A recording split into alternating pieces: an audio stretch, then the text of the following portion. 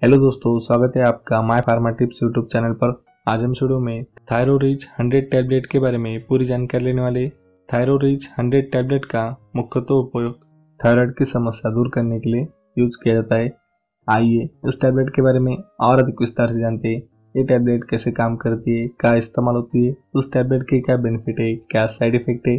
इस टैबलेट से जुड़े सभी सवालों के जवाब आपको वीडियो में मिल जाएँगे। तो वीडियो को लास्ट तक ज़रूर देखिए। प्रेमोस फार्मास्यूटिकल कंपनी का ये 100 टैबलेट का पैक आपको मेडिकल स्टोर पर एक सौ में मिल जाएगा। दोस्तों बताई गई कीमत समय के साथ कम या ज़्यादा हो सकती है। यह टैबलेट खरीदने के लिए आपको डॉक्टर के प्रिस्क्रिप्शन की ज़रूरत होती है। यह डॉक्टर के पर्ची पर मिलने वाली टैबलेट है।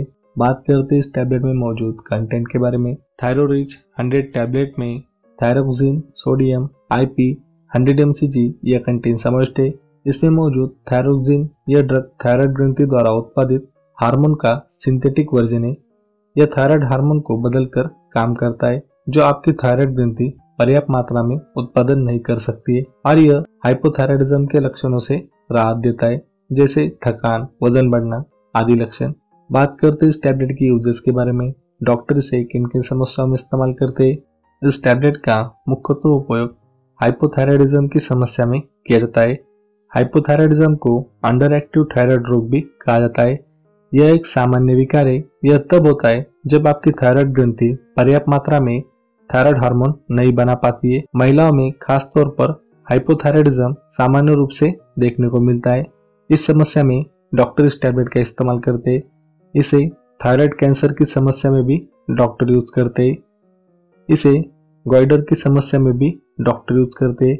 जिसे हम गलगंड गेगा भी कहते हैं। थायराइड ग्रंथि का आकार बढ़ने को ग्वाइटर कहा जाता है। थायराइड एक तितली के आकार की ग्रंथि होती है, जो गर्दन के अंदर ठीक कॉलर बोन के ऊपर स्थित होती है। हालाँकि ग्वाइटर रोग आमतौर पर दर्द रहित होता है, लेकिन यदि इसमें थायराइड ग्रंथि का आकार अधिक बढ़ जाए तो इसमें खांसी, निगलने व सांस लेने में दिक्कत होने लगती है। इस समस्या को दूर करने के लिए भी डॉक्टर इस टैबलेट का इस्तेमाल करते हैं। इस टैबलेट का अन्य जानने के लिए आप अपने डॉक्टर या फार्मासिस्ट से संपर्क कर सकते हैं। आपके डॉक्टर इस टैबलेट का इस्तेमाल उनके अनुभव से अन्य समस्याओं को दूर करने के लिए भी यूज़ कर सकते हैं। बात करते इस टैबलेट के डोसेस के बारे में। आप अपनी समस्या अपने डॉक्टर को बताकर इस टैबलेट का डोज उनसे निश्चित कर ले। याद रखें दोस्तों, इस टैबलेट का डोज आपके थायराइड लेवल पर निर्धारित रहता है। इसलिए इस टैबलेट को हमेशा डॉक्टर की सलाह से यूज़ करें। इसे अपने मन से घर पर यूज़ न करें। साइड इफ़ेक्ट इस टैबलेट के इस्तेमाल से होने वाले दुष्परिणाम। यदि आपको इस टैबलेट में मौजूद कंटेन्स है तो आपको बताए कि कुछ साइड इफ़ेक्ट हो सकते हैं। यदि आपको बताए कि कुछ साइड इफ़ेक्ट महसूस हो तो आप तुरंत अपने डॉक्टर से संपर्क करें। इस टैबलेट के इस्तेमाल से आपको उल्टी, मितली, चिंता, दस्त, घबराहट, बेचैनी, ये कुछ साइड इफ़ेक्ट हो सकते हैं। इन बीमारियों से ग्रसित लोग इस टैबलेट का यूज़ न करें।